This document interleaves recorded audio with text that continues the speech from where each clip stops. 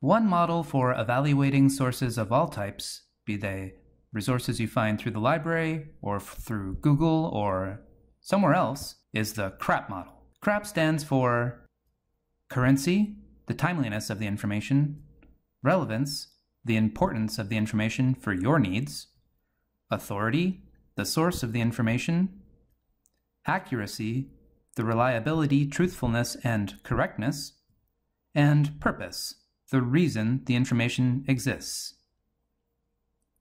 Let's try this activity, evaluating with CRAAP. Complete the CRAAP checklist for the Time Management in Nursing article. Decide if the article passes or fails the CRAAP test. Also, identify what kind of article it is. Is it a magazine, trade publication, academic journal, etc.? Take a few moments to use the accompanying CRAAP checklist to evaluate this article.